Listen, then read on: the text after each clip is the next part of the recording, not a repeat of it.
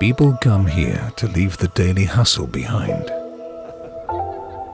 to spend some quality time with the ones they love, to slow down, or just to have some fun. I don't mind, I can take a hit. I really get to know them in their most personal space. Don't tell me I'm just furniture. I have a story to tell. After I was designed, the ideas really took shape when I was brought to Robos. And after well-made decisions and several prototypes of me, I was created with state-of-the-art equipment. Robos personally installed me right here, where I have been ever since.